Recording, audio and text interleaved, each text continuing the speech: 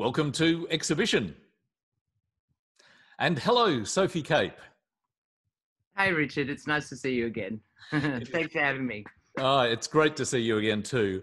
Uh, and your exhibition is Flashpoint at Olsen Gallery in Sydney. Um, and and your work over the years uh, has always been elemental, filled with elemental forces, and certainly this exhibition seems to be as well. But this is quite a different exhibition for you. In what way is it different to past exhibitions? Trust you to figure that out. um, it wasn't about me. This one. This was more about humanity and what Australia, the nation was going through and what the world was going through. And I let go a lot more than I normally would. Uh, the works are a lot rawer uh, and more honest. And um, it was kind of terrifying to make and let go of this show. I feed off what's going on in the environment, in the world, in myself, and um, but I chose this time to really let go and see what happened and try not to control it as much as I usually do. And like I said, this year I discovered a whole different side of my practice and a whole different side of myself and why I work the way I do and why that I live the way I do, like through my art process. I mean, I, I don't know what I do or how I do it like it's very frustrating. It's kind of like alchemy or something like that. Like I'll go back and look at a work and I'll go, oh, that's that's kind of I kind of like that. I wonder if I could do that again, and I have no idea. And it doesn't matter how many times I experiment, I can never replicate it or figure out how I did it. So, and it's as I'm always mixing something with this, and but every artwork is related, closely related to uh, the location it was made in, the place I was in, and what was going on in the world. So my works are very, very much a combination of my internal and external landscape and what's going on at the time. And I use the materials that only that are on hand in that location as well. So interesting enough, a lot of these works from this show, um, I mean, it's not all about the bushfires, but a lot of the areas I was working in had been affected by bushfires. So there was a lot of ash, and there was I found this amazing stuff. I don't know if it was um, uh, melted car parts or melted houses or melted aluminium or I, I don't mm. know, but it was like this uh, uh, parts of metal things that had just been so intensely heated that they'd disintegrated into metallic dust in all these different tones. And I just collected them all and I used them in the works. Um, uh, yeah, I don't know what they were. I'll never be able to find them again. But um, we uh, we um, we have some uh, images of you working, creating, uh, at least one of uh, the pieces in the snow, and we see both yes. snow and burnt trees. Uh, tell us about that location and about that process. There are certain locations around Australia that uh, I'm very passionate about. And Thredbo, of course, is one in particular because I spent half my life growing up there, obviously, as a ski racer. Um, and I went there um, on uh, an artist residency, and it was just after the fires had gone through and the snow had fallen, and all the trees were pitch black, and the snow was just like white, white, chalk white and it was absolutely strikingly stunning. And I just could not help myself. I dragged these canvases out into the snow and I threw ink on them and charcoal on them. And then I couldn't find the works because the works were so completely in tune and it's similar to, to the landscape that I, I actually I, there were four works out there. It took me two days to find them because they just looked exactly the same as the landscape. So um, that was kind of wonderful. So um, that was the start of the first four works, and I wasn't expecting that, and that kind of happened instantly. Um, so there we go. That was the start of one lot, and then I did a residency in Grafton, which was fantastic, and I found this um, uh, what those trees that with the white bark the paperbark trees that have bushfire had gone through right next to this amazing lake. And um, the fire had run through so fast that it had burnt the center of all the trees and left the tops white and the bottoms white. So that I thought that was just spectacular, and all the ash from the barks w- was on the ground. So I used I used that sort of scenario, and a whole lot of works came out of that instantly.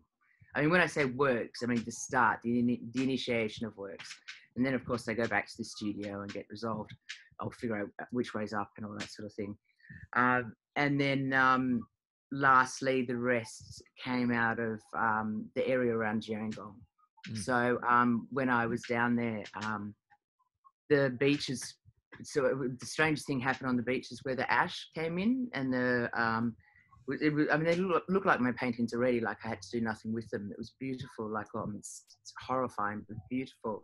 All the waves coming in were black lips, and you had these like beautiful curves and marks, all the lines, exquisite sort of mark making all the way up the beach. And there's quite a couple of works in the show that are literally just about that and nothing else. And um, also the blood rain that was flowing down, it was like, it wasn't that the cars were covered in dust and then the rain was white.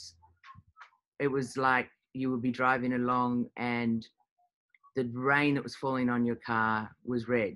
It was just so surreal some elements in in at least some of the works in uh, the exhibition can very definitely or strongly seem to be read as landscape. Um, uh, for example, uh, loud was the bird rocked sky. Uh, even seems to have contour lines in it, and there are other works which seem to have landscape and trees and horizon and perspective. Uh, is that intent in planning, or is that something that just arises from process? Again, arises from process. Process is the most important part of my practice. Uh, as I said before, it's it's not the outcome; it's the making for me. And ninety percent of the making of the work is done, has to be done in the landscape. That's what I feed off. I feed off the landscape, the place I'm working in, and what's inside here, and what's going on in the world. So um, I use the elements around me the dirt, the soil, uh, the trees for brushes, the um, charcoal to draw with, the I mean, what the bones to sticks. I mean, whatever's there, that's what I use. Uh, I don't use normal paint. I don't use, um, uh, uh yeah, I don't really use art shop uh, materials, and um, that inspires me. And it's not I don't go and draw, paint a tree. I paint the feeling of the tree, the feeling of the space. And what I discovered, it was really interesting that we did this residency in Grafton. And I was very self conscious about it because everybody rushed out and started making artworks, finished artworks straight away. And I was like, God, that's, I just, I just don't work that way. And um, I realized that, you know, I was, was sort of five days into the residency and I was still pottering around, walking around, feeling the space, doing studies, getting to know it. And it wasn't until the last day that I finally laid out all my canvases and just annihilated them. And just, I was black from head to toe. And I just went for 12 hours and just killed myself. But I, I, it, I got it. I got, it was about that, for me, it was about listening and waiting and feeling the space and connecting with the space. It's not about looking at it and painting the picture of it. It's about the essence. If that makes sense, it's more. I don't know. No, no. Uh, look, that it makes complete sense. Um, and when you talked about the materials that you that you find, uh, many of which are on the location where you're creating the work, how do you decide which materials you would like to include. I noticed, for example, that in uh, in in one of the works, there's even what appears to be a, a very large feather. Um, you know, but how, how do you decide what to include materially in the works? It has to be in that location. So it, it, it I call it fortuitous, call it whatever. I don't know. It ends up in the work. it gets blown in because I also leave the works overnight. Um, if ideally I leave them out for weeks or months, but in that case it could it was only sort of a day. But um, or I, I find it in that area or on that trip. Um, it has to be from that location um, because it for me it has to make sense to that. It has to connect to that space. It has to be symbolic for that place.